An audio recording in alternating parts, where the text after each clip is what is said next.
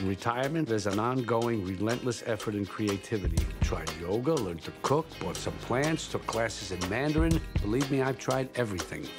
I just know there's a hole in my life, and I need to fill it soon. I'm Ben Whittaker. I have an appointment with Miss Ostin. I thought she was meeting with her new intern. That's me. How old are you? 70. You? I'm 24. I know I look older. It's the job. It ages you, which won't be great in your case. Sorry. Hi, Jules. I'm Ben, your new intern. I'm glad you also see the humor in this. Be hard not to. Don't feel like you have to dress up. I'm comfortable in a suit if it's okay. Old school.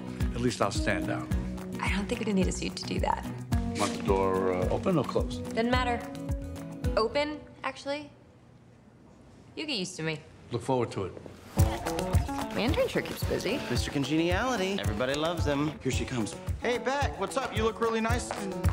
How long can a woman be mad at you for? I assume you talked to her, apologized. I emailed her. Subject line, I wrote, I'm sorry, with like a ton of O's. So I was like, I'm sorry. With the sad emoticon where he's crying. Our investors just think that a seasoned CEO could take some things off your plate. I did not see that coming. She's just trying to do right by everybody. The company, the family. Pressure is unbelievable. You started this business all by yourself a year and a half ago, and now you have a staff of 220 people. Remember who did that?